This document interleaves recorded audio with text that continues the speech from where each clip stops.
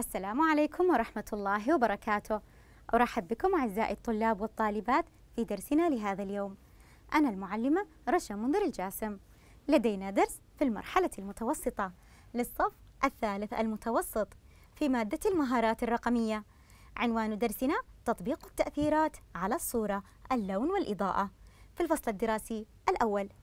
قبل أن نبدأ كعادتنا ماذا نقول؟ أحسنتم. بسم الله. هيا نرى الآن إرشادات التعلم عبر قنوات عين. أولا أجلس في مكان هادئ بعيدا عن الإزعاج والضوضاء. كذلك أجلس بشكل صحيح ومريح. أحضر أدواتي التي أحتاجها لدرسي. وأنصت وأستمع جيدا لمعلمي ولمعلمتي. وأخيرا أتابع الدرس حتى ينتهي لأفهمه وأستوعبه جيدا. في درسنا لدينا أهداف. هدفنا العام هو أن يتعرف الطالب والطالبة على كيفية إضافة تأثيرات على الصور. أما عن أهدافنا الخاصة أولاً أن يستخدم الطالب والطالبة برنامج تطبيق الصور على ويندوز. ثانياً أن يغير الطالب والطالبة لون الصورة في برنامج تطبيق الصور. ثالثاً أن يغير الطالب والطالبة سطوع الصورة في برنامج تطبيق الصور. رابعاً أن يحفظ الطالب والطالبة نسخة للصورة بعد إضافة التأثيرات عليها. دعونا نتذكر الآن ماذا تعلمنا أعزائي الطلاب والطالبات في دروسنا السابقة؟ في دروسنا السابقة تكلمنا عن عرض الصور تدوير وقص قلنا أننا نستطيع أن نقص الصورة ونديرها كيف ذلك؟ هيا نرى هذه الصورة لدي زهرة في هذا في هذه الصورة في الجزء الأيسر من الصورة ولدي طائر في الجزء الأيمن من الصورة أنا أريد أن أقص الصورة بحيث أحتفظ بصورة الطائر وأقص الزهرة. بعد ذلك أقوم بتدوير الطائر. كيف أقوم بذلك؟ هيا نتذكر. أولا كيف أعثر على برنامج الصور؟ من خلال خيار البحث الموجود على شريط المهام أسفل سطح المكتب ماذا أكتب؟ صور أو فوتوز. يظهر لدي التطبيق. أنقر عليه. بعد ذلك أبحث عن الصورة.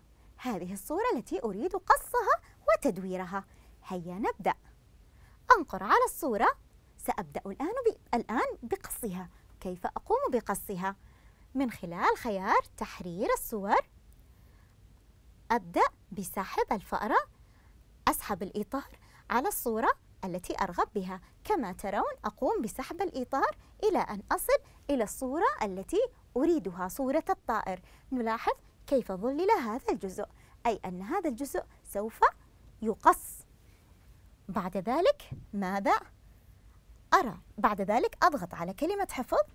ماذا أرى الآن؟ أرى أن الجزء الذي قمت بقصه قد اختفى وبقيت صورة الطائر كاملة كما ترون. ماذا لو أردت تدوير تدوير صورة الطائر؟ ماذا أفعل؟ لتدويرها أضغط على قص وتدوير. بعد ذلك التدوير. كما ترون كل مرة أنقر على تدوير تستدير الصورة. كما رأينا كل مرة أضغط على تدوير تستدير الصورة. أيضا قمنا بتطبيق التأثيرات على الصورة تصفية أضفنا تأثيرات على الصورة أيضا من خلال برنامج الصور. أختار الصورة التي أريدها. هذا في دروسنا الماضية. اخترت الصورة. أنقر على تحرير. بعد أن نقرت على تحرير تظهر لدي مجموعة من عوامل التصفية. أختار منها ما أريد. اخترت هذا العامل. أستطيع أن أختار من بين مجموعة من الخيارات أو الفلترز التي تظهر لدي. اخترت أيضا من عوامل التصفية هذا النموذج. فلنرى النماذج الثلاث. رقم واحد هي الصورة الأساسية الأصلية بدون تغيير.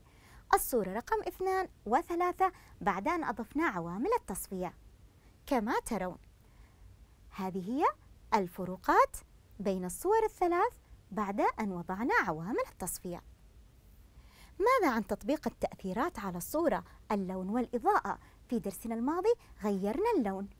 كيف ذلك؟ قلنا أنه في يمكن في تطبيق الصور زيادة سطوع الصورة أو تغيير ألوانها. كيف غيرنا ألوانها؟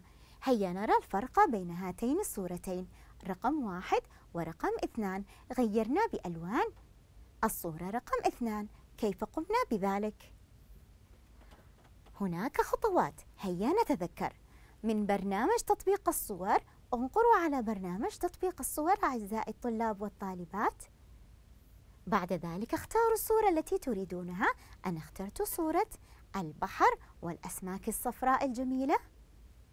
بعد ذلك أنقر على تحرير. يظهر لدي هنا اللون ونرى في هذا الجزء خطا أبيض. بواسطة هذا الخط الأبيض أستطيع تغيير اللون. كان الخط الأبيض في المنتصف. ماذا لو قمت بسحبه إلى أقصى اليمين؟ كما ترون هل تغير لون الأسماك أم لم يتغير؟ نعم تغير لون الأسماك. كيف قمنا بذلك؟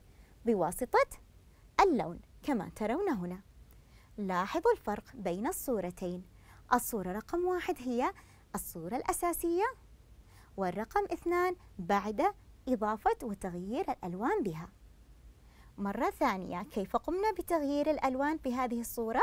بواسطة اخترنا أولا من خلال خيار الصور أو تطبيق الصور اخترنا الصورة التي نريد بتطبيق أو تغيير اللون بها. بعد ذلك ضغطنا على تحرير. هيا قوموا خطوة بخطوة أعزائي الطلاب والطالبات. بعد ذلك من خلال اللون استطعنا تغيير هذا الخط الأبيض وإزاحته من مكانه إلى أقصى اليمين. كما ترون تغير لون الأسماك. كما ترون الفرق بين الصورتين. نستطيع أيضا في درسنا اليوم أيضا نستطيع تغيير لون الصور. سوف نأخذ نشاط على صورة هذه السلحفاة هيا نبدأ بتغيير ألوانها. من خلال برنامج فوتوز أو برنامج الصور نختار الصورة التي نريد. صورة ماذا؟ السلحفاة البحرية. أحسنتم اخترت هذه الصورة الجميلة. من خياري ماذا أختار الآن؟ بعد أن اخترت صورة السلحفاة البحرية أختار تحرير أنقر على تحرير. بعد ذلك من اللون أستطيع أن أتحكم باللون بواسطة هذا الخط الموجود في المنتصف. كما ترون أستطيع أن أتحكم أيضا لون خفيف ودفء أيضا بالوضوح. فلنرى الفرق بين الصور الثلاث. الصورة رقم واحد والصورة رقم اثنان والصورة رقم ثلاثة عندما قمنا بتغيير الألوان بها. لاحظنا الفرق مرة ثانية. كيف قمنا بتغيير الألوان في الصورة؟ أول خطوة. اختيار تطبيق الصور أو فوتوز ماذا يليه؟ اختيار الصورة. ماذا يليه؟ أنقر على تحرير. بعد ذلك أنقر على اللون. أختار اللون المناسب من خلال السحب في جهة اللون في كلمة اللون أسحب الفأرة إلى المكان الذي أريده. كما ترون كانت كان الخط الأبيض في اليمين فأصبح لون السلحفاة بهذا اللون. كما ترون أيضا أستطيع أن أسحب بواسطة اللون الخفيف والدفء أيضا. أستطيع أن أغير لون السلحفاة. كما ترون لاحظوا الفرق بين الصور الثلاث. ألوان مختلفة ومتعددة. الصورة رقم واحد هي الصورة الأصلية والأساسية للسلحفاة البحرية. الثانية والثالثة بعد أن غيرنا الألوان بها. إذا تعرفنا كيف نستطيع تغيير اللون في الصور من خلال برنامج تطبيق الصور. لدي الآن نشاط صغير. هيا نذهب لسبورتنا لنقرأ نشاطنا ونقوم بحله. هل تغير لون هذه الصورة؟ هيا نرى هذه الصورة صورة أوراق الخريف هل تغير لونها في الصورة الثانية؟ كما ترون غيرنا لونها أم لم نغير لونها؟ هذه الصورة الأساسية صورة ال صورة أوراق الخريف هل تغير لونها هنا؟ نعم تغير لونها هنا إذا هل تغير لون هذه الصورة؟ نعم تغير لون هذه الصورة بعد أن كانت الأوراق برتقالية كما ترون أوراق الخريف. أصبحت أحسنتم سوداء كما نرى هنا ألوانها باهتة. إذا غيرنا لون الصورة أم لم نغير؟ غيرنا. نعم استطعنا تغيير لون الصورة. بعد أن قمنا بحل النشاط لدي الآن توصيات لولي الأمر. توفير بيئة هادئة ومحفزة للطالب والطالبة. الحرص على الجلوس الصحيح مساعدتهم على حل الأنشطة تعزيز وتشجيع الطالب والطالبة. كذلك مساعدتهم على نقل أثر ما تعلموه تعميمه في مواقف مشابهة تذكيرهم بما تعلموه باستمرار للاحتفاظ بما تم اكتسابه. في الأخير ألقاكم إن شاء الله في الدرس القادم وكلكم نشاط وحيوية كعادتكم. كانت معكم المعلمة رشا منذر الجاسم والسلام عليكم ورحمة الله وبركاته.